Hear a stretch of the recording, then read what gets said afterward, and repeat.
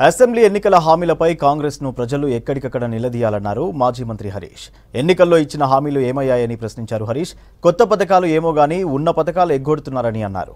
తాము ఇరవై నాలుగు గంటల కరెంటు తామిస్తే కాంగ్రెస్ పదహారు గంటలు కూడా కరెంటు ఇస్తలేదని మండిపడ్డారు హరీష్ రావు.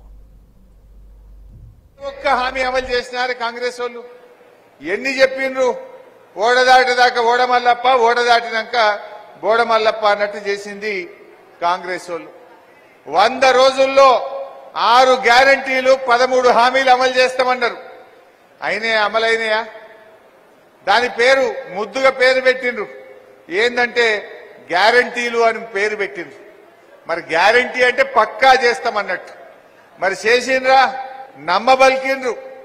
ఆరు గ్యారంటీలు అమలు చేస్తామని నమ్మబలికిండ్రు. నయ వంచన చేసింది ఇవాళ కాంగ్రెస్ ప్రభుత్వం. అందువల్ల దయచేసి ఆలోచన చేయండి. ఈ తాపగిట్ట మళ్ళీ కాంగ్రెస్ వాళ్ళు చేతులకెళ్ళి జారిపోతే మళ్ళా ఐదేళ్ళ దాకా దొరకరు. కాంగ్రెస్ వాళ్ళ గట్టిగా సురుకు పెడితేనే రేపు నేను అసెంబ్లీలో బల్ల గుద్ది ఏమైంది మీ హామీలు అని చెప్పి నేను అడగగలుగుతా. కొట్లాడి హామీలు అమలు చేయించగలుగుతా. మొన్న అసెంబ్లీలో మాట్లాడిన మీరు చూసిండ్రు పోయినసారి. ఎంత గట్టిగా సమాధానం చెప్పిందో మీరు కూడా చూశారు. మరి రేపు కూడా మనం మాట్లాడాల్సినటువంటి అవసరం ఉంది. ఇరవై ఐదు వందలు పెట్టి వడ్లు కింటలు కొంటా అన్నాడు.